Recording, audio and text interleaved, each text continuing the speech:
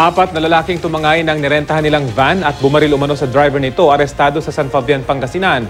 At paghiganti, isa sa tinitinang anggulo sa pagpatay sa isang negosyante sa Ordaneta City. Balita natin ni Jet Arceliana ng GMA Dagupan. Nakaupo nagpapahinga lang sa dinedemolish na kubo sa Barangay Dilan, Paurido, Ordaneta City, si Tsofilo Malapitan nang pagbabarilin siya ng hindi pa nakikilalang lalaki. Ayon sa mga residente, ipinarada ng salari ng kanyang motorsiklo sa harap ng isang bakanteng lote sa lugar. Naglakad papunta sa biktima at saka ito na maril. Ami nga sumabat, nakapatuyong tipaltog, di nakasang aton, nagtaray mo di asawa na nga pa nasa ba, asak lulong, apan na ako Angela kay na. Ayon sa pulisya, Desyembre noong nakaraang taon nasangkot umano si Malapitan sa pamamaril at pagpatay sa kanyang kumpare. Inaalam ng pulisya kung may kaugnayan ito sa pagpatay kay Malapitan. Ito pong kanyang kumpare na si Alias Malas ang siyang nabaril at napatay sa nasabing insidente.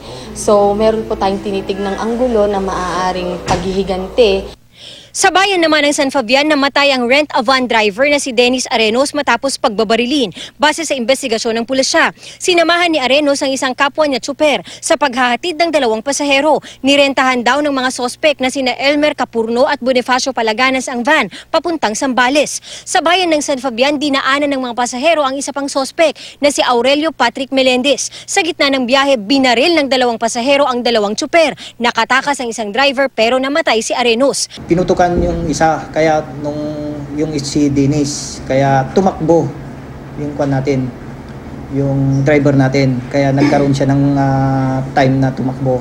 Tinangay pa ng mga sospek ang van. Di alam nung mga suspect natin siguro na naka-GPS pala yung ano yung van natin. So tinignan dun sa kanila sa GPS kung saan yung location.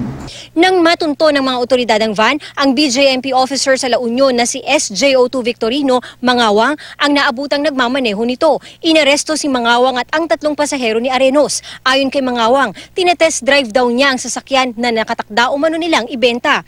Isinailalim na sa inquest ang mga sospek. Possible case na isasampa natin sa kanila is ah, yung carnapping with homicide at saka yung ah, attempted homicide doon sa driver ng van.